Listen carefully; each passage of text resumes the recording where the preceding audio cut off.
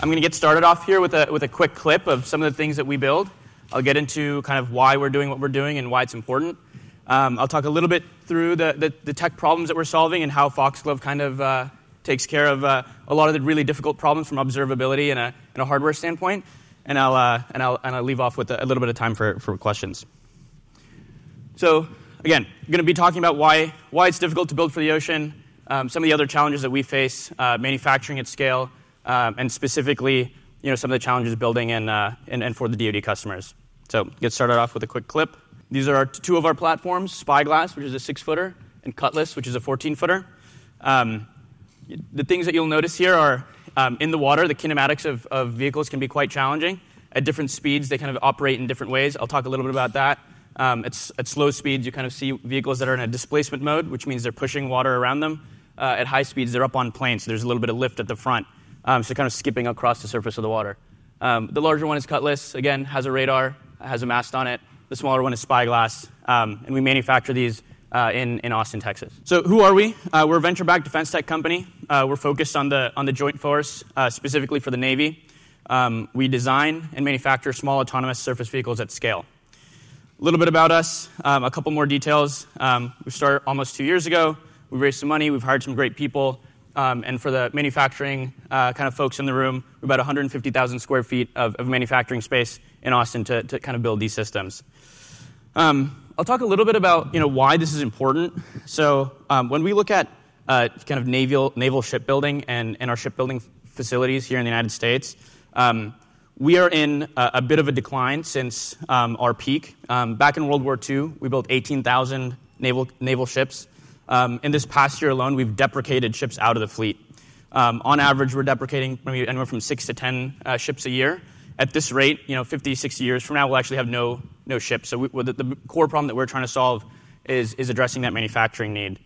Um, some of the challenges here, um, shipbuilding cycles are very long. You know, a lot of these ships take anywhere from eight to 10 years to build. They're very expensive.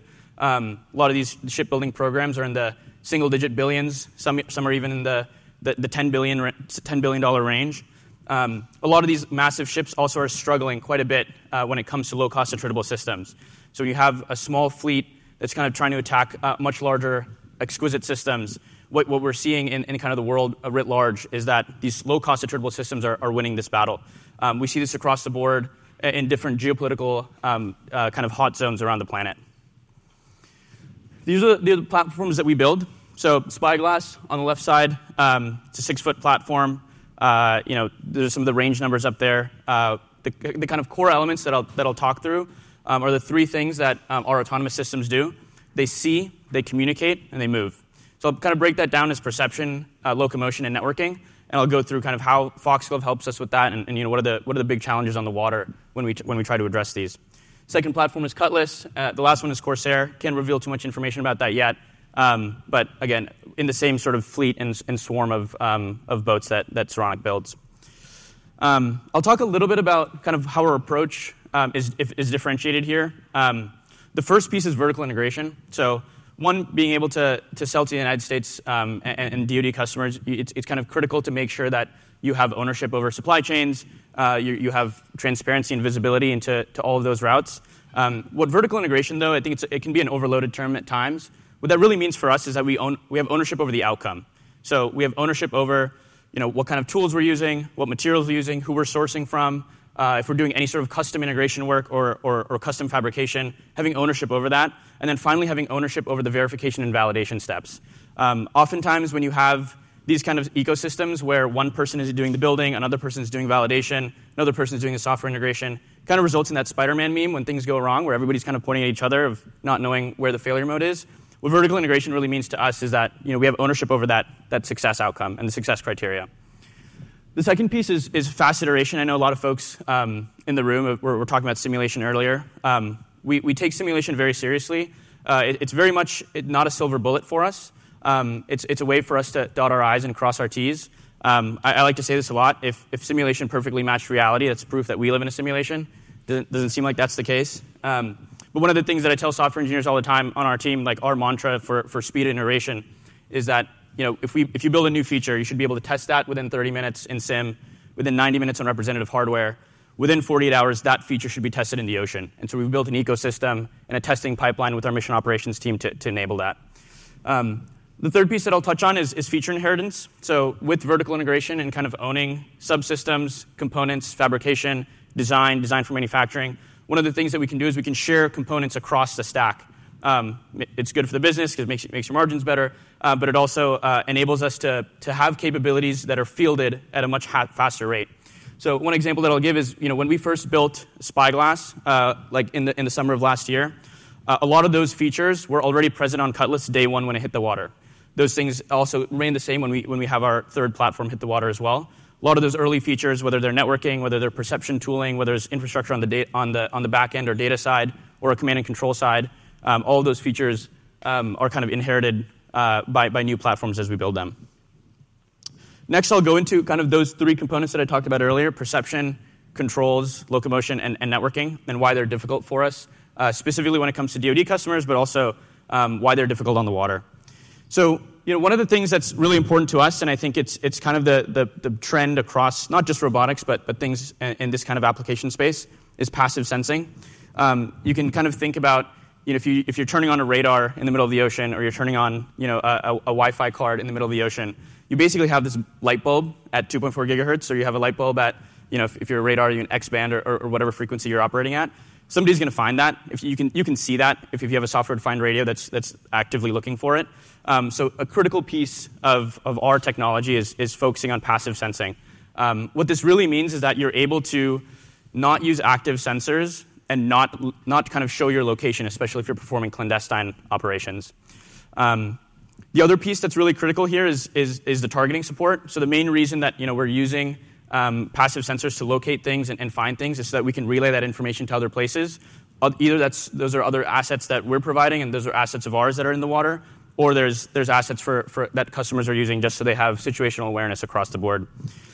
One of the really tricky parts of, of doing this is, I think um, one, of the, one of the speakers earlier talked about using thermal cameras. Um, using thermal cameras it can be quite challenging as well. Um, I'll go into a little bit of the details there, but I think one of the biggest pieces that, that we found is you know, the, the, the open source community and, and, kind of the developer community is focused quite a bit on, on, on RGB sensors and, and sensors that are in the conventional visual spectrum when we think about medium wave IR, we think about long wave IR, a lot of that developer infrastructure hasn't been built out yet. So a lot of that sort of custom tooling that, that needs to exist is, is, done, is done in house. Um, there's a couple more clips from, from some of the things that we do and we test out in the ocean. The ocean is a fairly unforgiving place. Um, you know, salt water is basically cancer for electronics. You have one drop of salt water that hits your PCB, that's it.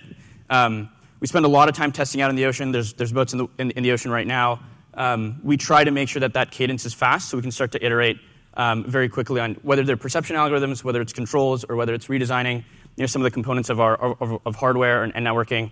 We try to make sure that, that systems are in the water as much as possible. Um, what you see on the right side are a couple of clips from, from our Foxglove panels of, of, of video data. Um, on, the, on the right side, you see kind of what foggy thermal data looks like. Uh, things can get quite challenging there. There's a phenom- phenomena that occurs called thermal crossover, which is when you have an asset that's a similar temperature as the background, they start to kind of blend in. Um, it's kind of you're seeing a little bit of that on the right side there. Um, on the bottom, you're seeing kind of what what kind of tracks look like. So when you start to identify objects, where they are, where their position is, how fast they're moving. Uh, some of the work that we've done here around uh, our, our, work in the embedding space, um, you know, we're using tool, uh, open source implementations of things like Clip to try and iterate on how do we get better and fine-tuned embedding models that work well at kind of differentiating targets uh, out on the ocean. Um, juxtaposed to the self-driving car space where you kind of have a very cluttered environment. You can have a lot of people, you can have children running through or pets. Um, the ocean can be calm at times, and so your, your sensitivity thresholds can kind of need to vary dynamically. If you're in the middle of a shipping lane, you're going to have a lot of noise, a lot of buoys. There's kind of rules of the road that you, that you have to obey. Um, in the middle of the open ocean, it's kind of anything's fair game. Um, and as I mentioned before, the, the ocean is a fairly unforgiving place. Um, couple of the things that I'll, I'll kind of show here in, in kind of glimpses. Um, again, more, more kind of thermal imagery. Um, you can kind of see that the temperature of water, um, even though in, in, theory is, is the specific heat of water is fairly high, and you have a consistent water temperature across the board, those thermal differences as a function of solar glare can, can make themselves very clear, especially when you're looking at, at it through, through thermal cameras. Um, on the left side is, is kind of some examples of some of our experiments around simulation. Um, what we've done here is try to get Cutlass or Spyglass to, to hallucinate information. We've trained a couple of VQ, VAE models to try and see like if you want to test in, um, in a, a, very complicated sea state. You know, if you want to test during a storm, for example, no boat captain is going to let you do that. No one's going to willingly kind of put their lives at risk during a storm to, to, to, just go test your robot. So one of the things that's really critical for us to do is be able to have good tooling and good simulation tooling to kind of generate data um, that, that looks a lot more noisy than it is, um, so we can be prepared for, for, for challenging environments. Um, talk a little bit about locomotion. Um, so in, in, the video earlier, you guys probably saw it. Kind of low speeds. again, I mentioned you're pushing water around you. At higher speeds, you're kind of up on step or up on plane, which means you're skipping across the surface. Um, what that means is that you actually have two different kind of uh, you know kinematic states. Um, the, the surface of the water is one of the more challenging environments because you're in a two fluid environment. You have both water and, and air to, to worry about versus you know, subsurface or, or aerial.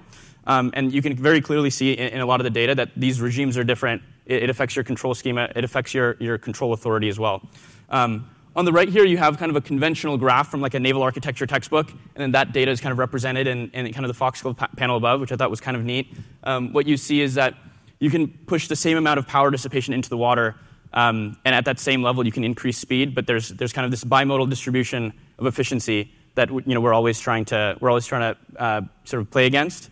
Um, and that changes as a function of sea state. So you know, if you're in a lake, if you're in a swimming pool, these numbers look different. If you're in the middle of a storm in sea state 4, where you, know, you have an 8-foot swell, these numbers look different. So again, the, just, just to reiterate, that the ocean can be quite, a, quite an unforgiving place. And so for us, the, the critical thing is, as I mentioned earlier, is we are just testing constantly, constantly putting boats in the water in different conditions, in different, even in different oceans. So, like the Atlantic versus the Pacific are, are two, two different environments as well. The, the ocean temperature is different, the salinity can be different. Um, so we try to make sure that we collect as much data as possible. The last piece that I'll mention here, um, from, a, from a networking standpoint, um, networking on the water can, can be quite difficult as well. Um, the instrumentation here is, is fairly critical for us. Um, we have redundant modes of communication, uh, whether they're, they're beyond line of sight or, or line of sight payloads. Um, the critical piece, though, is that on the water, if you have you know, salt water hitting your antennas or, or it's, it's covering the surface of something that needs you know, RF broadcast or, or a direct, directional antenna, you are going to lose quality of service. So for us, we have Foxglove, we have, we have RF engineers and, and, electrical engineers using these Foxglove dashboards to make sure that they're actually designing hardware systems the right way as well. So, you know, kind of the, the way that we'd like to to address this is making sure that you know, you've instrumented a subsystem. You can make sure that uh, you know, you're getting the right data off of that bus. Um, an, electrical engineer can kind of grok it very quickly, make sure they can you know, affect design decision changes or, or manufacturing changes. And then the next step forward is uh, deploying that into production. And, and, it's the same, same kind of dashboard that's used uh, in, in, that environment as well. Um, the, the, last thing that I'll say about, about networking is that in a lot of these environments, especially in kind of a military context, a lot of these RF frequencies can be, are, are open to jamming. Uh, they, they, can be very quickly visible. And so a lot of the things that are very critical to instrument are when do we want to have certain frequencies on or certain frequencies off, um, and then making sure that you know, those actually align to the mission standards or the, or the ConOps that, that you know, our customers want to execute. Um, one, of the, one of the biggest tricky p- components here is that if you actually want to you know, turn off um, you know, an, an, RF link, especially if it's, a, if it's like some omnidirectional sensor. Um, these sensors are always chirping, and so even if you have you know, your, your Bluetooth device in your pocket right now, it's still emitting, um, it's still emitting some sort of signature. And so it's, critical to actually turn these payloads off. Um, and so from, from an RF standpoint, you know, we've kind of made sure that we are instrumenting all of these things. So from an autonomy standpoint, you can have autonomous behaviors that are not just a function of what you're seeing visually, but also what you're seeing in kind of the RF environment. Um, and, and, those are things that are really critical, especially when we think about um, kind of the, the, military context of things. So, anyway, with that, I'll, I'll end. It was kind of perception, controls, networking were the, were the three big things that I wanted to hit. But again, we are Saronic, we build autonomous boats. You know, thank you, thank you for your time.